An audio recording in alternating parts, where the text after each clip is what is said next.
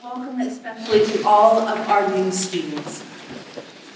You may have heard otherwise, but California does, in fact, here in the South, have seasons. We have four whole days of winter that, trust me, will come.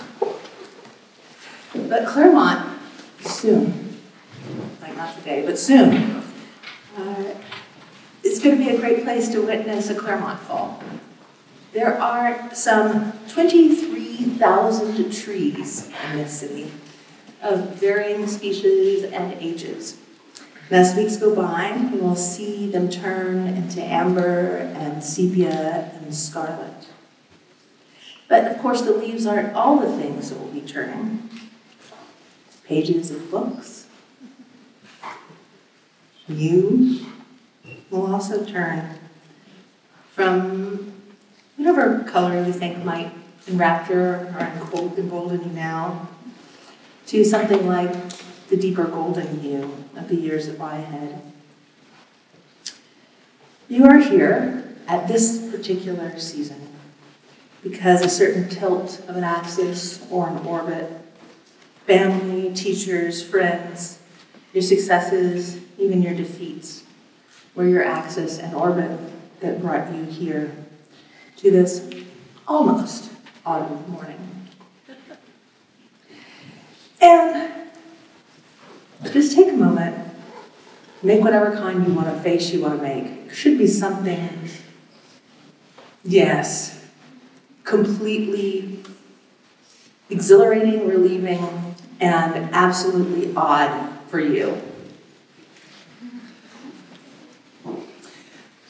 No one's really taking me up on that. is, this the strangest face you can make? You could do it behind your hands or something so nobody sees it. But if this is the strangest you can get, you guys have a lot to work on. and the stranger you feel, which I hope you will feel stranger and stranger each day, that's an index of how much you belong here. Because this is a community of people who can embrace their differences from each other, their differences from themselves from day to day, and they can embrace the idea of change.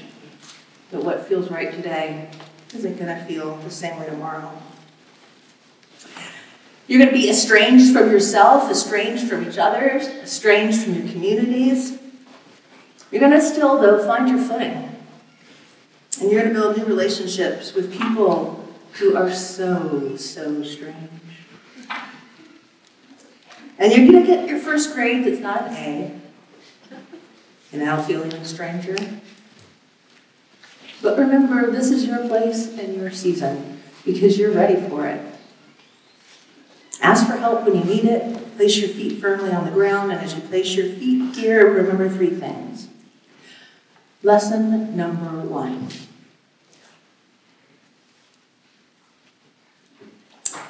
Nothing ever stays the same. So be fully present to the moment. These years will pass sooner than you think, so pay close attention. Take a class with an intriguing title, even a class that might scare you. Be a student of the beautiful around you, whether it means looking at a new face, taking a blanket and a book and spreading out on the lawn.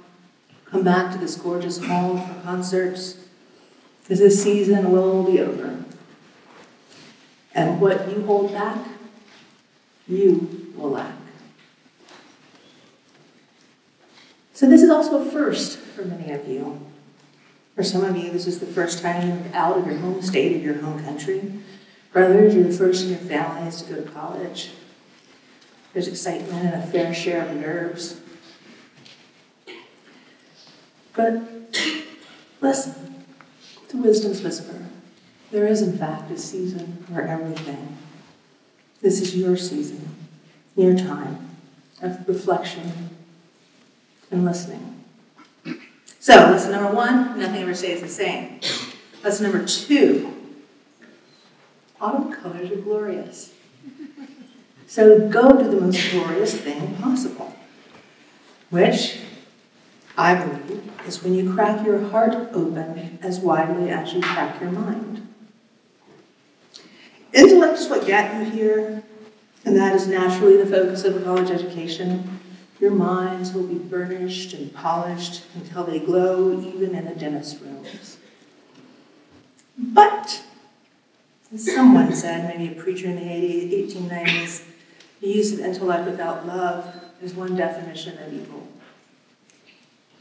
Your mind will be pushing the limits of possibility at the same time that your heart bursts out of its banks. Let it overflow with the possibility and reality of doing something good. Starting now, use this gift of intellect, of education for the benefit and betterment of everyone around you. Mentor a kid or volunteer in an underserved school, work with the homeless in the communities around us, involved with the community through the Draper Center.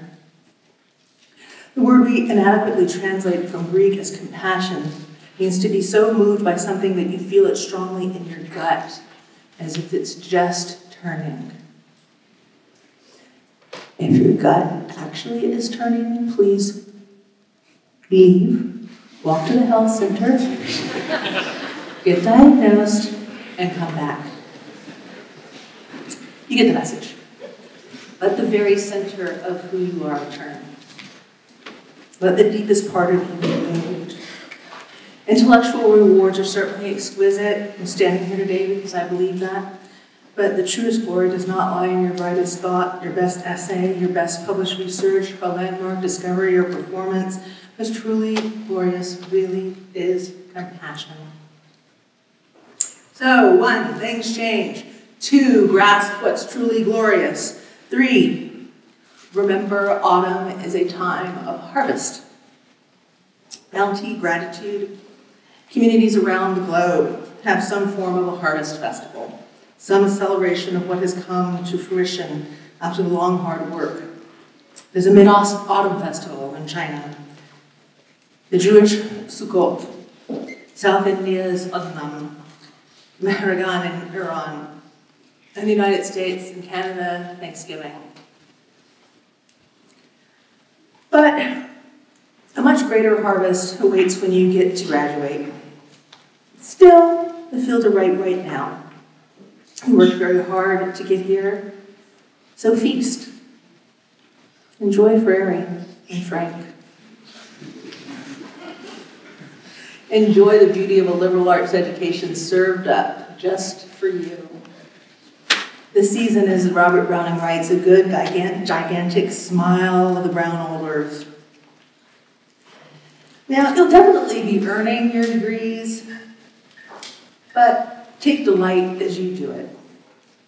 Revel in all that is beautiful around you. As you get to know me, you'll realize that I am a poetry addict. So I'm going to close this out with a poem by uh, Paul Laurence Dunbar. It's all a farce.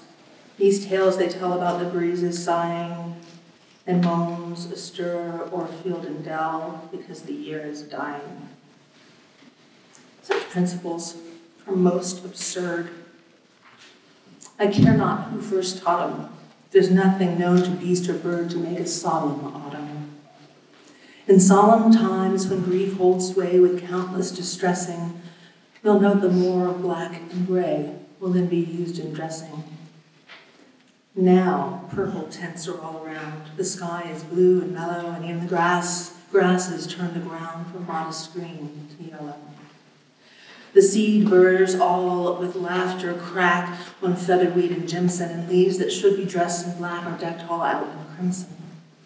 A butterfly goes winging by, a singing bird comes after, and nature all from earth to sky is bubbling o'er with laughter.